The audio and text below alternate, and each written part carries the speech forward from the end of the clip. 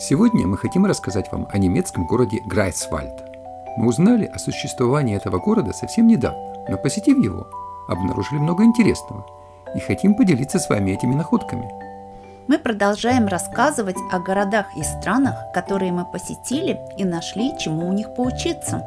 Если вы здесь впервые, подписывайтесь. Ссылка на видео о других наших путешествиях в правом верхнем углу экрана.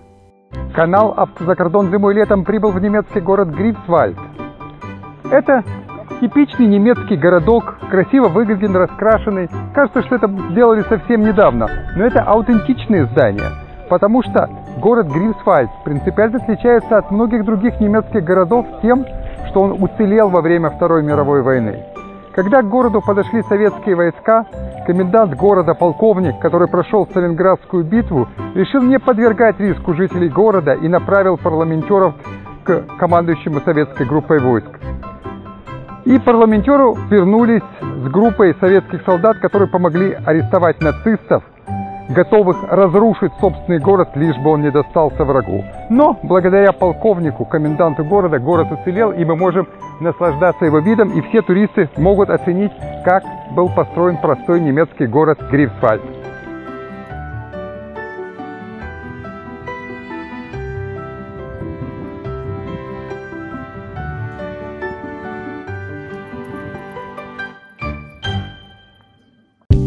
На рыночной площади Грайфсвальда мы видим перечень основных вех истории города.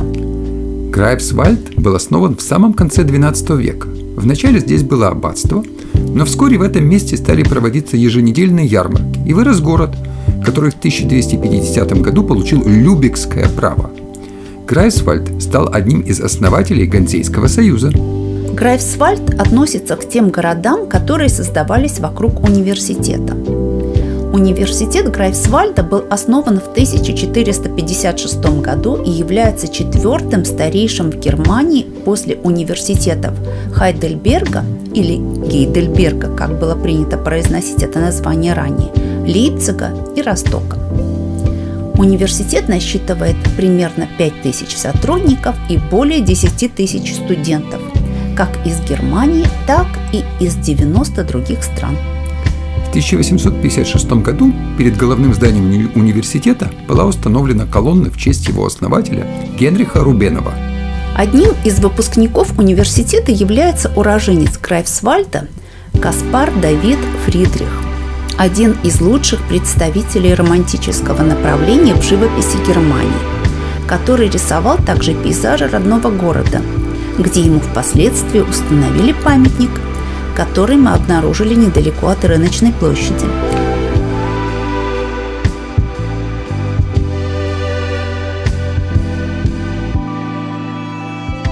У 1996 році в університеті була створена єдина в Німеччині кафедра україністики, на якій можна здобути кваліфікаційний рівень бакалавра та магістра за фахом Українська філологія.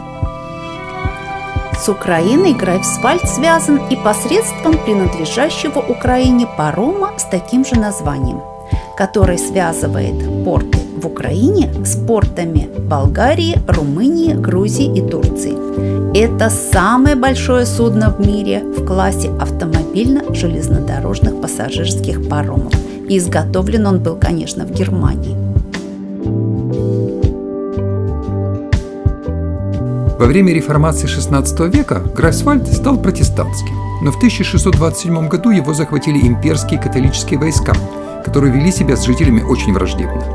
В 1631 году город осадили шведские войска под командованием короля Густава Адольфа, того самого, который основал город Гетеборг и университет в Тарту.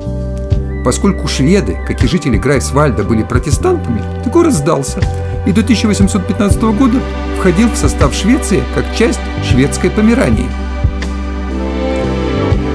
Хотя можно сказать, что эта Швеция была частью Померании, ведь страной одно время правил Эрик Померанский со своим померанским гербом, красным грифом, который теперь красуется на флаге Мальмы.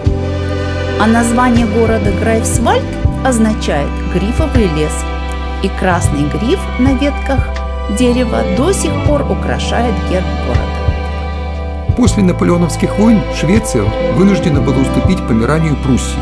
Но в качестве компенсации Швеция получила Норвегию, из-за чего разразилась война, чуть не погубившая норвежский город Фредрикстад.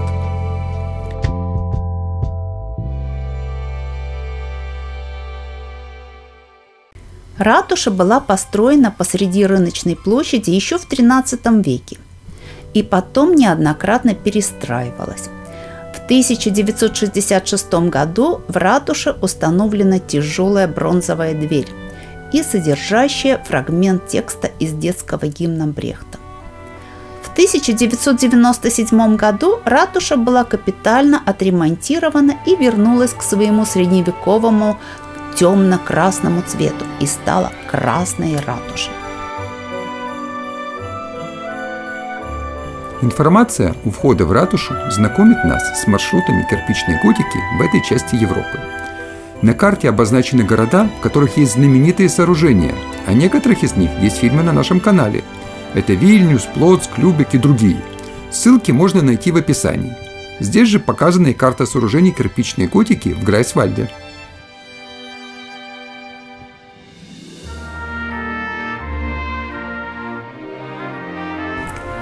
Собор Святого Николая является самым высоким культовым сооружением, построенным в стиле кирпичной готики.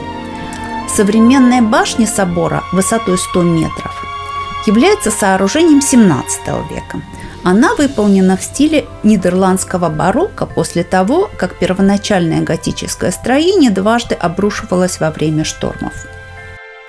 На пути от собора Святого Николая до собора Святой Марии видим много красивых зданий, и некоторые из них определенно имитируют готику. Собор Святой Марии является самым старым из трех древних храмов города. Он строился как базилика.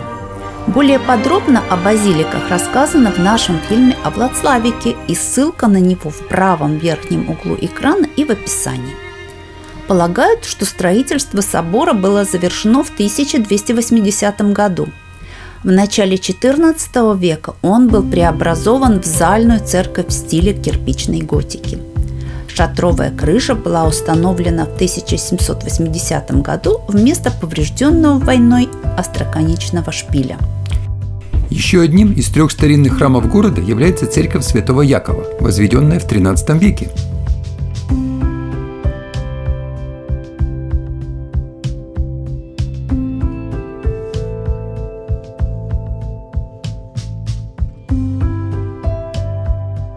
1938 году в Грейфсвальде, как и по всей Германии, прошли еврейские погромы.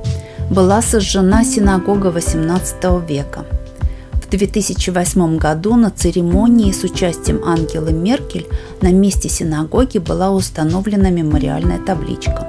Кстати, Грейсвальд входит в округ, от которого Ангела Меркель избрана в Бундестаг – в 2008 году город Грейфсвальд был объявлен наиболее динамичным городом в Германии. Hallo, ich heiße Lev. Wo bist du? Äh, ich bin in Österreich. Wo ist Greifswald? In welches, in welchem Land? In Deutschland. Ah, also sind wir in Deutschland? Sind wir in Deutschland? Ja. В нашем балтийском путешествии Крайсвальд оказался первым городом, который мы посетили в Германии. А далее мы поехали в Любик и Киль и приглашаем вас отправиться туда вместе с нами. Подписывайтесь на канал «Автозакордон зимой и летом».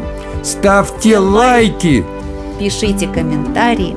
Увидимся в следующем городе или стране.